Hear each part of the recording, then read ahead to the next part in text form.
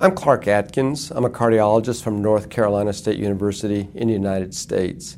And I'm going to be speaking with you today about the standards of care in the management of canine heart disease. This three part seminar is sponsored by Ceva Santé Animale. In our first session, we're going to talk briefly about the pathophysiology of heart failure and the mechanisms by which cardiac drugs can be used to manage these signs. We will use those drugs which have had governmental approval for use in the treatment of cardiac disease in Europe.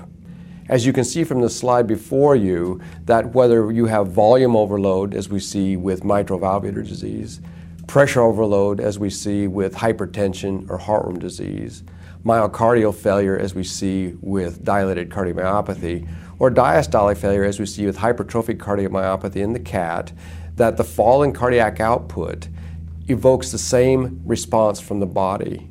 And while this may be beneficial on the short term, it becomes harmful on the long term.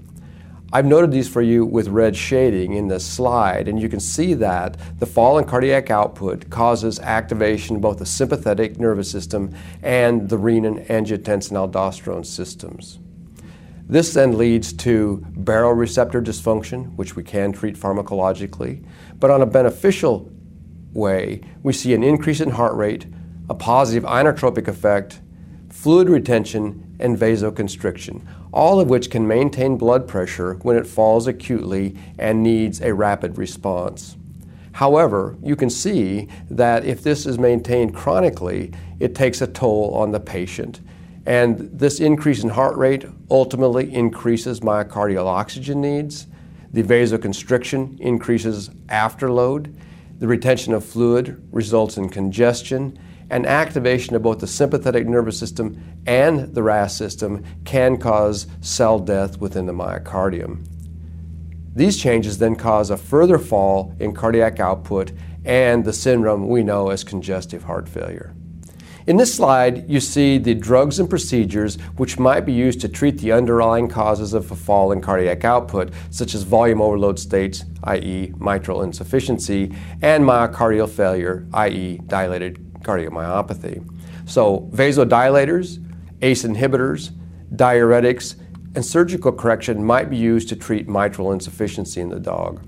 For dilated cardiomyopathy, we rely, we, we rely upon inotropic agents such as pimobendan and digoxin. To blunt the sympathetic nervous system and RAS systems, we use beta blockers, ACE inhibitors, and spironolactone.